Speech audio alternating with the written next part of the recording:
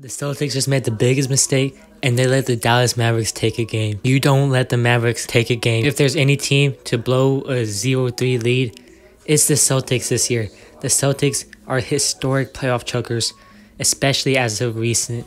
And Jayson Tatum's the man but he's not going to play like it with Luka Doncic. He can't even guard Luka. Doncic absolutely cooked him every time Jayson Tatum was guarding him. And Kyrie Irving, he's going off now, especially in front of that Boston crowd, feeding off that energy. You can just imagine them taking both games five and seven. And you don't have to imagine for long because it's going to become a reality. The Dallas Mavericks are going to become the first team to ever come back from down 3-0 and doing that in the finals is crazy. It's going to be legendary and we're all here for it. We're just got to prepare. Get your popcorn, get your snacks. You know, you put those away because you thought the Celtics were going to sweep but the Celtics, they took their foot off the gas. And of course, you could say they're resting and they're going to be back for game five and it's, they're going to win by 20 points. But what are the chances that the Celtics win by 20 points in game five? I'd rather take the Mavericks winning because the Mavericks are on a roll right now. The NBA is a game of momentum. It's not game by game, even though I truly believe that, you know, it's kind of the case sometimes.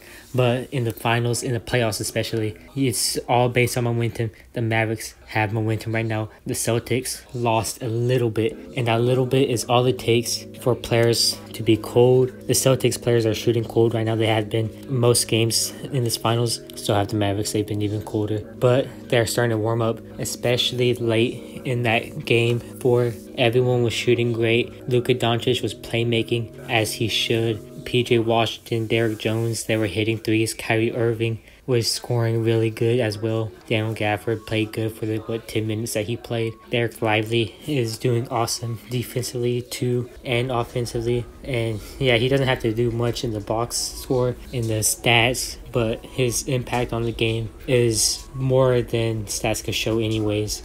So do I think the Celtics are just going to choke and that every player is going to play bad? Well, if you look at it, Jayson Tatum, he might have a bad game. It's very possible that he can have three straight bad games. So can Jaylen Brown. They've both shown that they can do that before, like in last year's playoffs or in past playoffs that they're capable of having consecutive bad games. And Derrick White is not someone who I would look to as a savior either. Even though last year he was in the Heat series, he was the reason why they came back and they forced a game seven. Derrick White was carrying the Celtics for a little bit there, but this series uh, has proven that Derrick White is no match for anyone really. And yeah, he's made some great defensive plays, you know, having a little bit of an impact there. But his offensive shooting, you know, his shooting and everything hasn't been there. Every time he gets the ball, he's looking to pass, and he hasn't been cutting to the basket as he usually does. He used to be decent at driving. He'll get these layups. He has a pretty good post back. Not necessarily like turnaround shots and fades, but going to the paint and then doing a little right hand layup, a little power dribble. But even earlier in the series, he got blocked from doing one. So Derrick White is taking too long to do these plays, and so has Jayson Tatum. They've been indecisive and they're trying to